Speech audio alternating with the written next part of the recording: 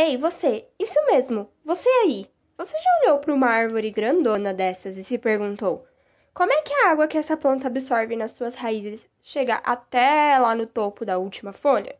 Bom, se você nunca se perguntou isso, agora você deve estar pensando sobre. E pensando nisso, é que vamos apresentar para você como ocorre o transporte da água pelo xilema das plantas. Mas, primeiramente, o que é xilema? Bom, xilema é o tecido com a função de levar a água e os nutrientes absorvidos pelas raízes até as folhas. Ele seria como as nossas artérias, só que para as plantas. As células do xilema responsáveis por esse transporte são chamadas de elementos traqueais. Eles funcionam de forma parecida com canudos ou até mesmo canos e estão interligados entre si, formando um grande tubo que percorre toda a altura da planta para permitir que a água chegue até o topo das copas.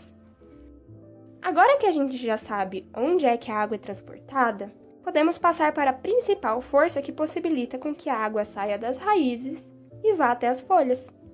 Chamamos essa força de teoria de tensão, adesão, coesão. A tensão se caracteriza pela força que a transpiração das folhas faz. A transpiração é a saída de água em forma de vapor pelos estômatos das folhas. Quando ela ocorre, a pressão na região foliar fica negativa, o que faz com que a água seja puxada para as folhas. É só pensar na transpiração como a força que a gente faz quando tomamos algo de canudo.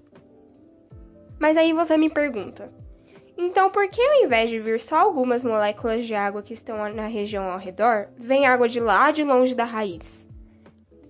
É aí que eu te apresento a coesão e a adesão.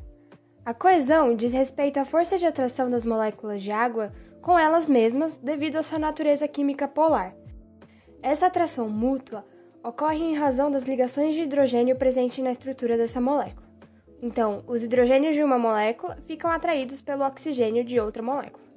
E quando temos várias moléculas de água, elas estarão todas se atraindo, criando um grande agregado. Dentro dos tubos do xilema não é diferente. Nesse caso, elas criam como se fosse uma corda comprida por toda a extensão da planta. Já a adesão é a força com que essas moléculas de água se aderem às superfícies.